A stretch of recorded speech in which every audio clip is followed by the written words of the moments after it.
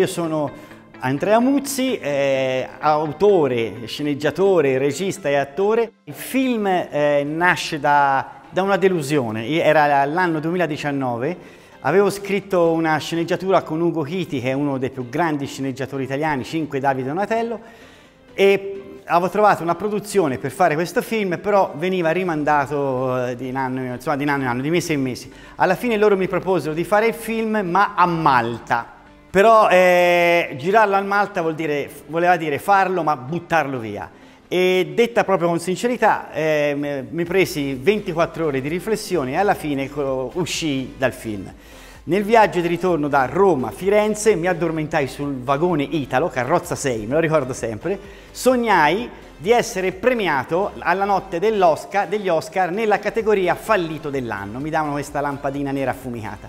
Quando mi risvegliai mi venne l'idea di raccontare un film che sdoganasse il fallimento che anzi prendesse il fallimento come preziosa opportunità di crescita. Quindi mi misi a, a fare e a scrivere un film che raccontasse le gesta di questi straordinari perdenti, ma alla fine il regista era costretto a fare i conti con la propria sconfitta, con i propri limiti e a capire che la vergogna non è perdere, ma non saper costruire da una sconfitta. Buonasera a tutti, mi chiamo Stefania Pascali e sono un'attrice di teatro. Eh, collaboro con la Fondazione Global Thinking Foundation di Claudia Segre da due anni. Ci siamo incontrati in periodo Covid e abbiamo proposto un progetto di spettacolo che alla dottoressa Segre è piaciuto e eh, con questo spettacolo siamo andati in giro eh, in tournée per diverse località italiane. Lo spettacolo lo abbiamo scritto in due, io e mio marito Luigi Cilli e eh, abbiamo proposto appunto questo testo a Claudia. Il testo che si chiama Una scelta per la vita, ha debuttato a Piazza Affari, eh, quindi in sala borse. Il caso, la fortuna ha voluto che in sala fosse presente un uh, regista uh, di cinema, appunto Antonio Silvestre. Ad Antonio, vedendo lo spettacolo, è venuto in mente di creare un documentario che avesse come fil rouge delle interviste, eh, di, delle testimonianze lo spettacolo di teatro, affinché una storia destinata a pochi potesse diventare una storia destinata a molti. Il docufilm io spero che arriverà mm, nelle piattaforme e in tutti i festival possibili affinché il messaggio arrivi chiaro e forte. Basta alla violenza sulle donne, qualunque essa sia, libere di lavorare, di mangiare, di vestirsi come ci pare piace, libere di parlare, libere di mh, intraprendere una carriera, qualunque essa sia, in una parola, libere di vivere. Grazie. Io sono Angelo Cretella e questo è il mio primo lavoro di lungometraggio. Strano arrivarci con un documentario perché ho sempre pensato all'opera di finzione, però sono felicissimo di essere approdato diciamo, al, al, film lungo con Artemide a cui felicemente passo la parola. Grazie. Allora, io mi chiamo Artemide Alfieri, sono nata e cresciuta a Giuliano in Campania, che è il comune in cui abbiamo girato il documentario, casualmente diciamo. In realtà questo documentario è nato da solo, eh, perché noi eravamo nel secondo lockdown Abbiamo rotto la zona rossa, abbiamo preso l'auto e abbiamo dire, percorso questa strada statale Caivano-Aversa e alla fine della strada c'era il tendone di un circo.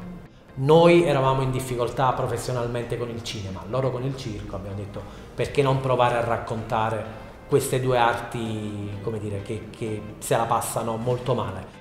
Quello che abbiamo trovato nel circo e grande solidarietà, grande unione, grande eh, voglia di, di, farcela insieme, no? di, di, di, unirsi per poter andare avanti insieme. Quindi era qualcosa veramente un po' in, in controtendenza rispetto a quello che, che, stavamo sperimentando fuori, quindi questo ci ha molto colpito. Grazie a Reano Film Festival che ci ha ospitato e spero che il film possa piacere, nel senso spero che possa emozionarvi tanto quanto ha emozionato noi farlo.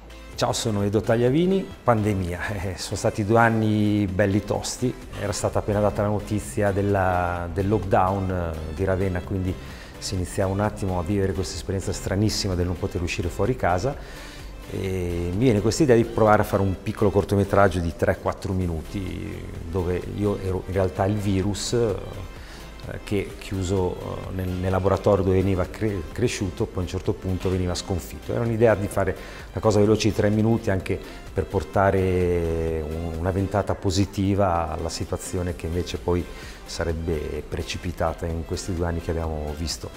Come precipitata poi dopo in realtà l'idea del montaggio, perché da tre minuti andando a frugare su YouTube, perché in realtà il documentario lo chiamo documentario pop-up perché è un qualche cosa che a poco a poco più avanti esplode, è tutto un lavoro di split screen eh, dove dentro ho cercato di mettere tutto quello che nel 2020 appunto è avvenuto.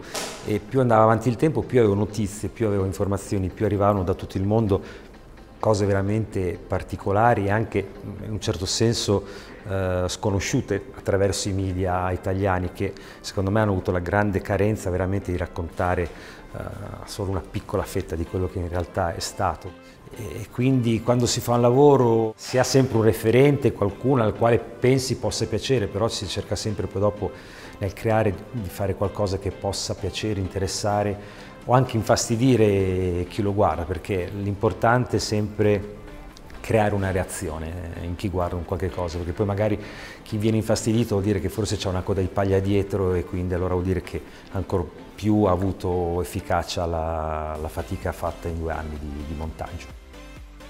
Sono Federico Di Cicilia, sono regista erpino, sono qua a presentare Invisibili, è un film in concorso che abbiamo girato proprio in Irpinia.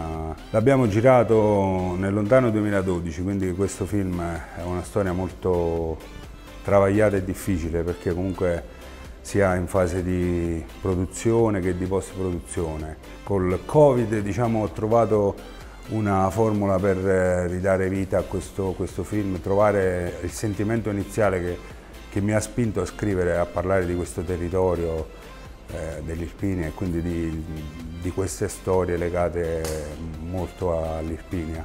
E quindi ho cercato di, di rimescolare un po' le carte, di destrutturare il racconto e di scriverlo attraverso il montaggio. Eh, questo è il motivo per cui un film girato nel 2012 è uscito nel 2022, dopo dieci anni. Invisibili eh, va visto perché parla della storia di crescita un po' di ognuno di noi che si scontra con il proprio genitore, ha difficoltà ad esprimere la propria personalità. È una storia universale che, che riguarda un po' tutti, quindi il rapporto genitore e figlio è un valore aggiunto.